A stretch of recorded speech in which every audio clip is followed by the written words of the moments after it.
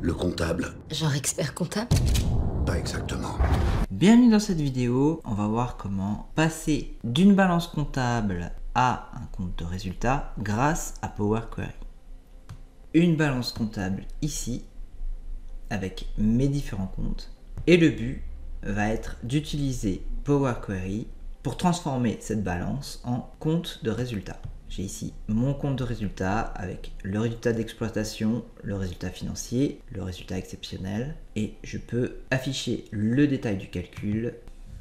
Voilà pour mon résultat d'exploitation, idem par exemple pour le résultat financier. Pour réaliser cette opération, il va falloir passer par une table de transition. Cette table de transition comporte quatre colonnes. Première colonne, le calcul effectué. Donc on voit pour les premières lignes qu'il s'agit du résultat d'exploitation, résultat financier, résultat exceptionnel. Deuxième colonne, la catégorie produit d'exploitation, produit financier, produit exceptionnel, charge d'exploitation, etc.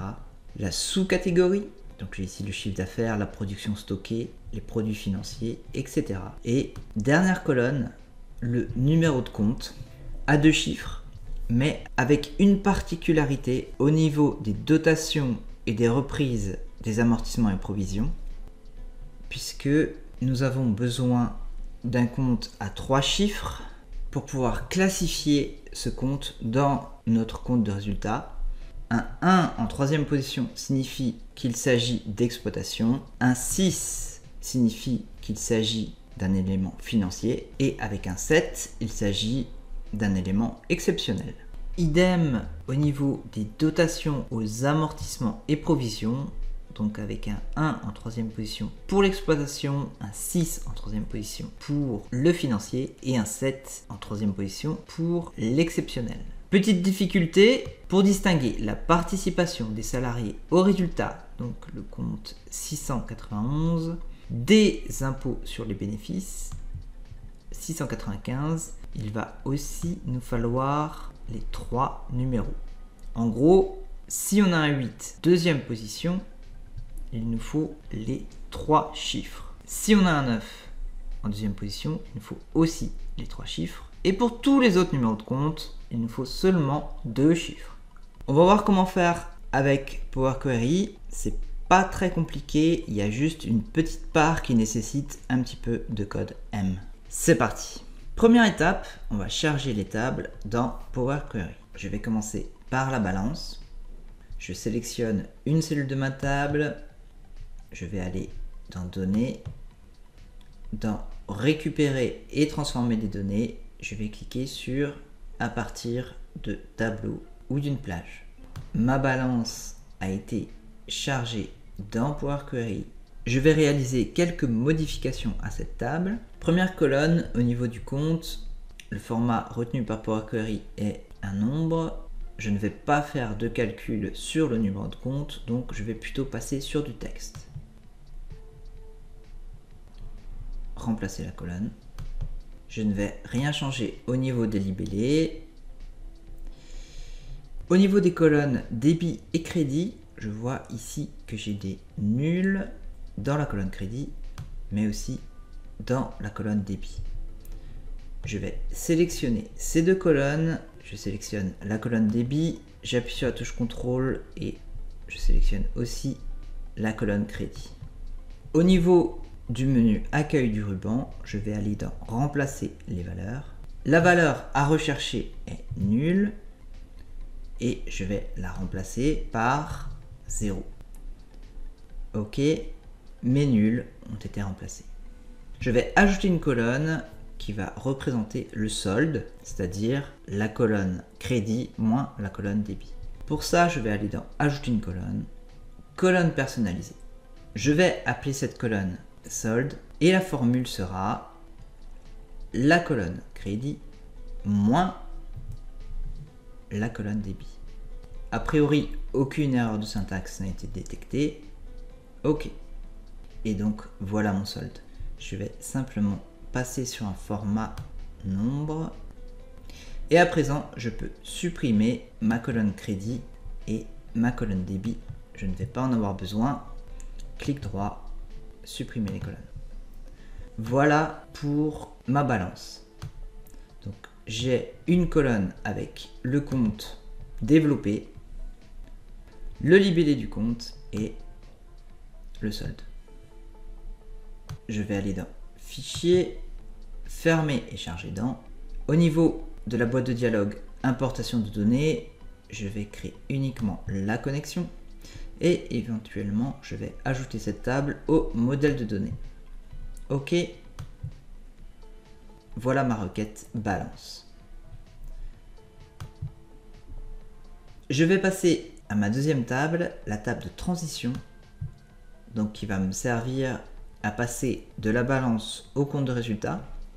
Je sélectionne une cellule de cette table, toujours au niveau de données, je vais cliquer sur à partir de tableau ou d'une plage. Voilà ma table de transition qui apparaît dans Power Query. Première colonne, le calcul. Je ne vais pas effectuer de modification. Deuxième colonne, catégorie. Troisième colonne, sous-catégorie. Et dernière colonne, numéro de compte. Je ne vais pas faire de calcul sur le numéro de compte. Power Query par défaut a choisi un format numéraire. Je vais passer en format texte. Remplacer l'actuel. Comme on l'avait vu précédemment, dans ma table de transition, au niveau du numéro de compte, j'ai des comptes abrégés. J'ai simplement les deux premiers numéros pour chacun de mes éléments, sauf lorsqu'il s'agit d'amortissement ou de provision.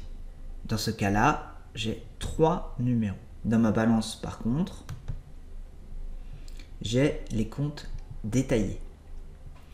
Pour pouvoir réaliser la correspondance entre les comptes de ma balance et ma table de transition, je vais devoir extraire les deux premiers numéros du compte dans ma balance, sauf lorsqu'il s'agit d'amortissement et de provision ou de participation des résultats aux salariés et d'impôt sur les bénéfices. Dans ce cas-là, je vais devoir extraire les trois premiers chiffres. Alors j'ai de la chance, au niveau des amortissements et provisions, le deuxième numéro est toujours un 8. Et au niveau de la participation des salariés aux résultats et de l'impôt sur le bénéfice, le deuxième numéro est toujours un 9. Donc je vais extraire les deux premiers numéros, sauf si le deuxième numéro est un 8 ou un 9, dans ce cas-là, je vais extraire les trois premiers numéros. On va essayer de traduire ça en code M. Au niveau du ruban, je vais aller dans Ajouter une colonne. Colonne personnalisée. J'ai la boîte de dialogue colonne personnalisée qui apparaît à l'écran.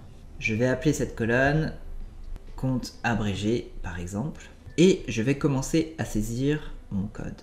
On l'a vu avant, si mon deuxième numéro est un 8 ou un 9, alors je vais extraire les trois premiers numéros. En code M, je vais commencer par réaliser une condition, donc if. Je vais utiliser la fonction text.at. J'ouvre une parenthèse. Cette fonction retourne le caractère à la position spécifiée. Je vais m'intéresser à la colonne compte virgule, deuxième argument, la position. La position, dans ce cas, va être 1, puisqu'en fait, la fonction text.at commence à 0. Donc, le premier numéro se trouve à l'index 0 et le deuxième numéro à l'index 1. Donc, je saisis 1, je ferme la parenthèse. Si mon deuxième numéro est un 8, c'est-à-dire une dotation ou une reprise sur amortissement et provision. Ou, donc or, à nouveau, je vais utiliser la fonction text.at. Je vais à nouveau m'intéresser à la colonne compte, virgule pour passer à l'index. À nouveau, je m'intéresse au deuxième numéro de mon compte, mais comme l'index commence à 0, je vais saisir 1, je ferme la parenthèse, et on l'avait vu avant, la participation des salariés au résultat et l'impôt sur les bénéfices ont un 9 en deuxième position. Donc je saisis 9.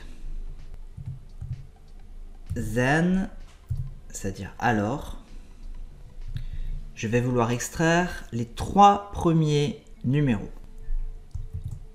Pour ça, je vais utiliser text.start. Je veux une parenthèse. Cette fonction retourne le début d'un texte. À nouveau, je vais m'intéresser à mes comptes. Et une virgule pour passer au deuxième argument de ma fonction. Si j'ai un 8 ou un 9 en deuxième position de mon compte, je vais vouloir retourner les trois premiers numéros du compte. Donc je vais saisir un 3. Je ferme la parenthèse. Je vais utiliser else. Donc dans les autres cas, je vais vouloir extraire uniquement les deux premiers numéros. Donc à nouveau, text.start. Je m'intéresse à la colonne compte. Et dans les autres cas, je vais extraire les deux premiers numéros. Je ferme la parenthèse. A priori, je n'ai aucune erreur de syntaxe. OK. Voilà ma colonne compte abrégé. Je vais tout de suite passer en format texte, puisque je ne vais pas faire de calcul sur cette colonne. Elle va simplement me servir pour effectuer la jointure entre mes deux tables. J'ai ici les deux premiers numéros. On va juste voir si on arrive sur des comptes de dotation aux amortissements. J'ai ici les trois premiers numéros. A priori, ça marche. J'ai un compte d'amortissement, donc avec un 8. Et il m'a bien envoyé les trois premiers numéros. Ici, j'ai un 9. Idem. Power Query a envoyé les trois premiers numéros. OK pour le code M. Maintenant, que j'ai ma colonne compte abrégé dans ma balance et l'équivalent dans ma table de transition, ici, je vais pouvoir créer une jointure entre les deux tables. Je vais aller dans le menu Accueil, Combiner, Fusionner des requêtes, fusionner les requêtes comme nouvelle. J'ai la boîte de dialogue fusionnée qui apparaît à l'écran. Au niveau de ma table du haut, je vais sélectionner la table balance. La table du bas, ce sera la table de transition. La jointure va s'effectuer au niveau de la colonne compte abrégé pour la table balance et numéro de compte pour la table de transition. Je veux une jointure externe gauche et je vais simplement appuyer sur OK. Voilà ma nouvelle table. Pour le moment, elle s'appelle fusionner. Je vais la nommer élément compte résultat, par exemple. Et voilà ma table. Donc j'ai ici le numéro de compte, le libellé compte, le solde, le compte abrégé et les correspondances dans ma table transition je vais cliquer sur cet élément pour déplier mes correspondances dans la table transition.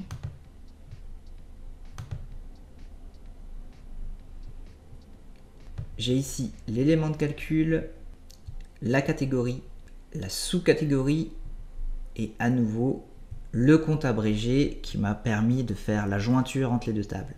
Je ne vais pas avoir besoin de cette colonne, je vais donc la supprimer je vais simplement renommer ces colonnes. Ici, sous-catégorie.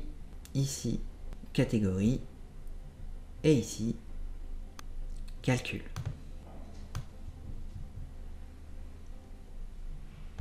Ma table est complète. Je vais aller dans Fermer et charger. Fermer et charger dans. J'ai la boîte de dialogue importation des données qui apparaît à l'écran. Et cette fois, je vais choisir le rapport de tableau croisé dynamique. Je vais venir placer ce tableau croisé dynamique dans une nouvelle feuille de calcul et j'appuie sur OK. Voilà mon rapport de tableau croisé dynamique vierge et j'ai le volet champ de tableau croisé dynamique qui apparaît sur la droite de l'écran. Au niveau de ma table éléments, compte, résultat, j'ai mes différents champs. Premier champ qui va nous intéresser, c'est les éléments de calcul donc du compte de résultat, je vais venir placer ce champ au niveau des lignes.